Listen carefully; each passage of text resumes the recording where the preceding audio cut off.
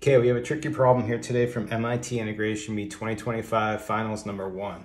We have the integral of tan x times square root 2 plus square root 4 plus cosine x dx. Okay, at first I didn't really know what to do with this one. I wanted to, I was thinking, I was hoping that somehow this would be a perfect square, but I couldn't get that to work. So what I tried instead was just a u substitution for this whole thing here.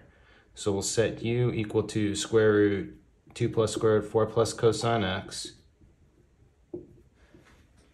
And then I don't think I want to try to take a derivative of all this.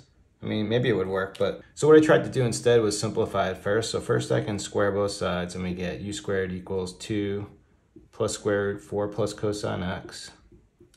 Then I can bring the 2 on the other side of the equation and square everything again.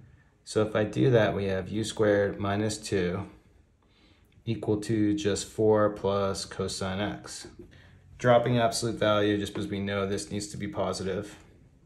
And plus cosine can't be less than minus 1. So, so now just multiplying out the left side, we have u to the fourth minus 4 u squared plus 4 equals this stuff.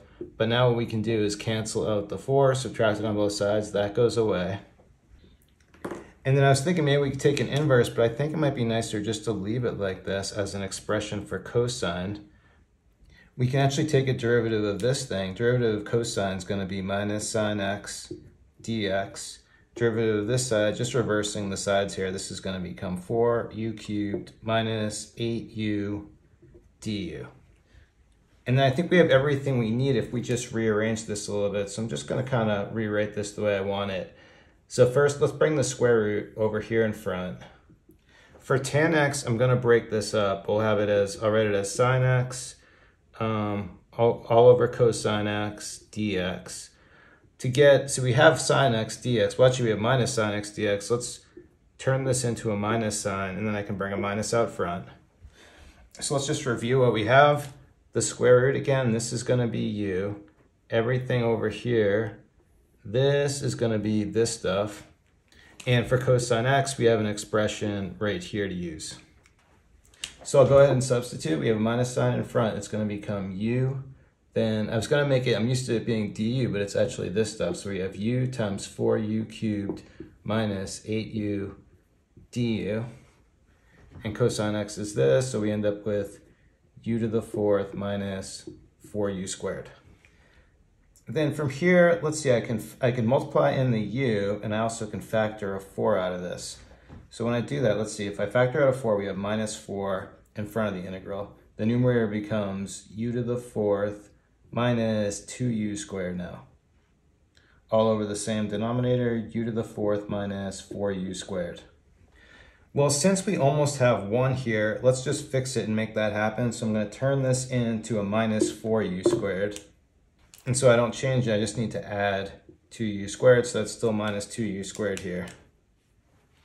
But then for that, let's use that to create a second integral, multiplying it with the minus 4 over here, I think. So how that's going to look, let's do it as minus 8, and then the integral is just going to be u squared over this thing. But now what I want to do here on this one is let's factor out a u squared, so I can write it as u squared, u squared minus 4 du because that way u squareds cancel and we just have 1 over here on the right.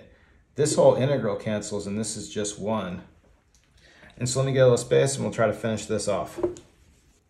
So now in the first integral, of course, that's just going to be u when we integrate, so we get minus 4 u right here. Here, I actually like the formula for inverse hyperbolic tangent, but I'm not going to use it. I'm going to try to match MIT's solution, so they're going to do it in terms of natural log. I think the tangent is more I think the inverse tangent is more compact, but maybe natural log's more familiar, so let's just do it MIT's way. So using the formula for this, we're gonna have one half in front. This is gonna be like a, actually let me just show the formula for this kind of integral over here to the side. So when we have x squared minus a squared, this thing's gonna be one over 2a natural log x minus a over x plus a. And I think technically there's absolute value, even though we're not going to need it in our problem. So go into this formula, 1 over 2a, where our a value is going to be 2. This is actually going to become 1 fourth right here. Then we're going to have natural log u minus 2 over u plus 2. I dropped the absolute value just knowing because u, this is always going to be positive. And then even with the minus 2, it's not going to matter because this is going to be greater than 2, what's coming out of the square root. So all we need to finish it off is just a back substitute with our u value. So for my final solution on it, let me get a little space. So for my final solution, let's see what we have. It's going to be minus 4 square root 2 plus square root 4 plus cosine x.